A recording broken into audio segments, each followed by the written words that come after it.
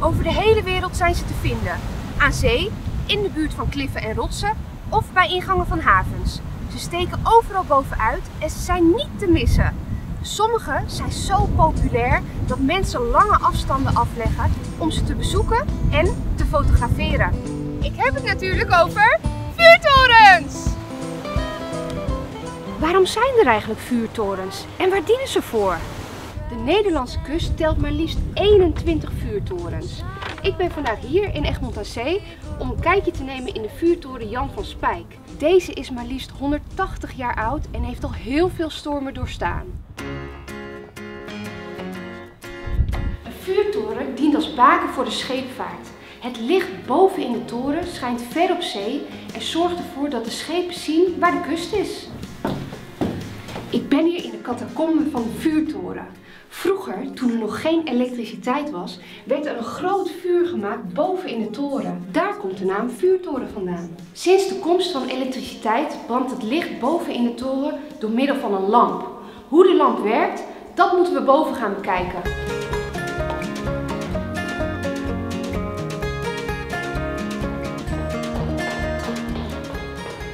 Elke vuurtoren ziet er weer anders uit en heeft zijn eigen unieke eigenschappen. Een paar kleine weetjes van deze vuurtoren, de Jan van Spijk.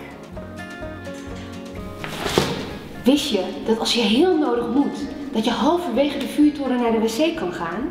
Dat is natuurlijk heel handig voor als je boven in de toren bent. Hij is 28 meter hoog, daar pas ik wel 17 keer in. Hier onder deze vloer liggen allemaal koeienhuiden. Die hebben ze bij de bouw gebruikt als fundering. Anders zou de vuurtoren inzakken.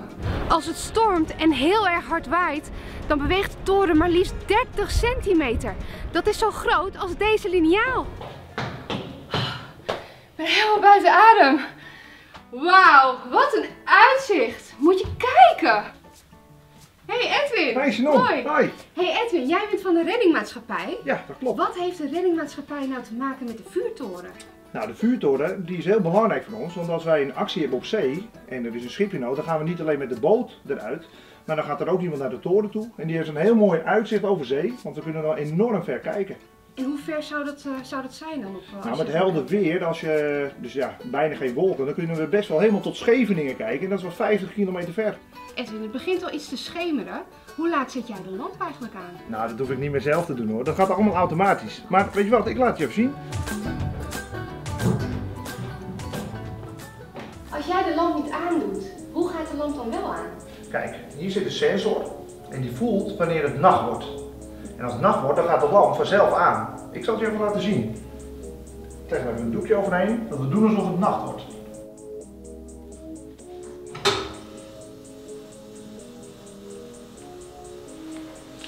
Kijk, hier zie je drie lampen en ze gaan nu testen. We hebben een hoofdlamp, dat is deze, de 1, en twee reservelampen.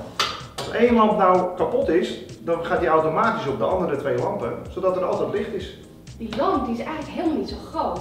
Hoe kan het dan dat het licht zo ver kan schijnen op zee? Ja, het klopt, de lamp is inderdaad niet zo groot, maar er zitten allemaal spiegels en een hele dikke lens voor deze lamp. En die zorgen ervoor dat het licht ontzettend ver weg wordt geschenen, nog 40 kilometer. Dus daardoor is het licht dus zichtbaar voor de schepen. Ja, dat klopt. En is het een heel mooi baken voor alle schepen die naar de havens toe gaan of gewoon langs de kust varen naar een andere bestemming. Vuurtorens zijn dus echt onmisbaar voor de scheepvaart. Klopt, helemaal. Maar ja, ik zou het toch ook wel heel leuk vinden als die boven mijn bed zou komen te hangen. Nou, ga maar staan. Ik heb een camera bij me. Maak een foto van je. Ja, iets naar links nog, Janon. Klein stukje nog. 1, 2, ja.